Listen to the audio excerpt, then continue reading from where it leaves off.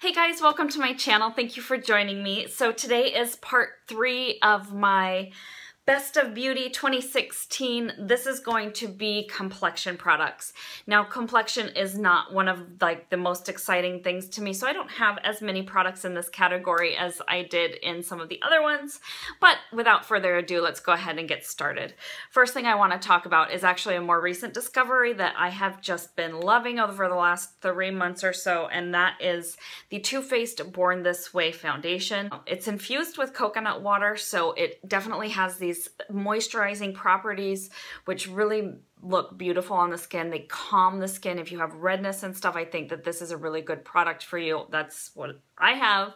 I have redness, I have rosacea, I have sensitive skin, and this has been a wonderful, like life-saving foundation. You can build it up to a pretty full coverage. It's generally, I would say, more of a medium cover, light to medium coverage foundation, but if you do like two pumps of this, you can get a pretty full coverage.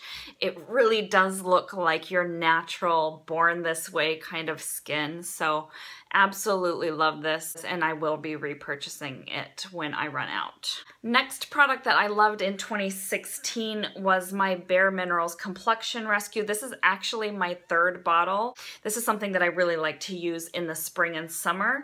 It has um, broad spectrum SPF. It's a tint tinted hydrating gel cream. It's a very light, lightweight kind of natural glowy sort of formula. It'll give you a dewy finish. It's not going to give you a full coverage. I would say it's a light to medium coverage at the most.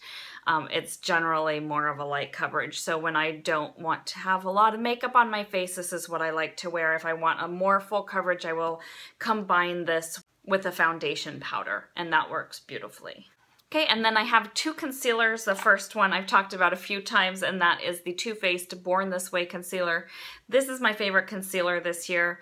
I love it because it smells really good. It smell it has that coconut water again, so it's very hydrating and cooling for under the eyes. Um, it's just got those skin-loving ingredients, which I love and it goes on beautifully. It really makes the under eye area brighter and it's very, very lightweight. So it doesn't like ever get cakey or anything like that. And I'm more of a medium, light to medium coverage type of gal. So I really, really like this concealer. It does need to be set with powder though if you want it to last all day.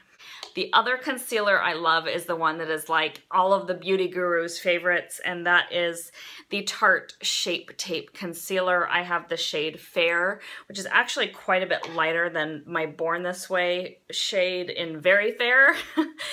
As you can see, like the Tarte is much lighter. They have a better shade range in this but it is a very full coverage concealer. It's fantastic. It doesn't feel cakey.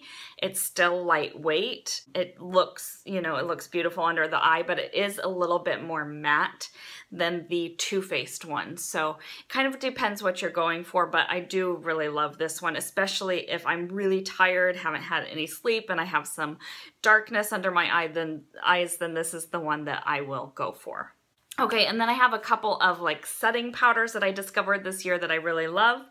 The first one is from Too Faced, and that is the Primed and Poreless Face Powder.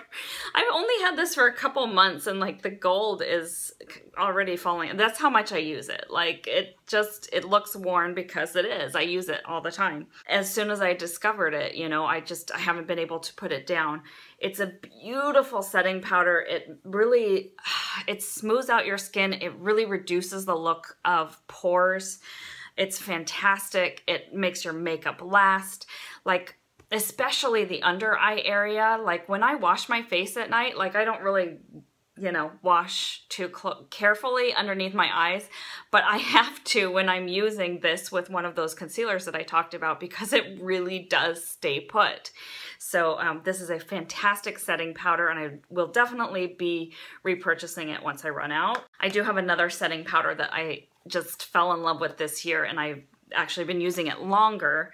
I'm surprised that it's last, lasted me as long as it has, that I'm not out of it yet because I did use it pretty much every day until I found this one. This one's a little bit more hydrating and with it being winter time, I like a more hydrating one. But in the summer and spring, this Bare Minerals Translucent Powder Duo was fantastic for me. And I do still use this for like setting my under eyes this time of year. This is the matte side that I just love. And then you also have the glow side, which is a very sheer, which gives you a very sheer uh, luminescence to your skin. It's similar to the Hourglass powders, I think. It's not quite as soft, but it is close. And it does kind of the same thing, and it's a, got a much cheaper price tag. So definitely love this Bare Minerals Translucent Powder Duo in 2016. And I do have one more complexion product to show you, and that is the Smashbox Photo Finish Primer Water. This is something that I got at the beginning of 2016. I use it almost every day and I still have this much left. Like, it's amazing how long that it lasts.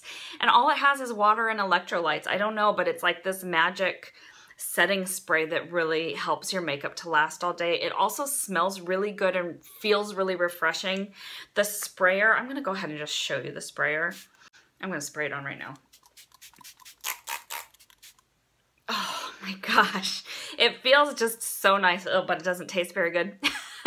it feels so nice and refreshing on the skin and it really does help your makeup last longer. So this is definitely going to be a repurchase once I run out. Okay, so that is everything for complexion products. I hope that you enjoyed this video. Please let me know which products you've been loving over the last year, and I will see you in the next one. Thanks for watching. Bye, guys.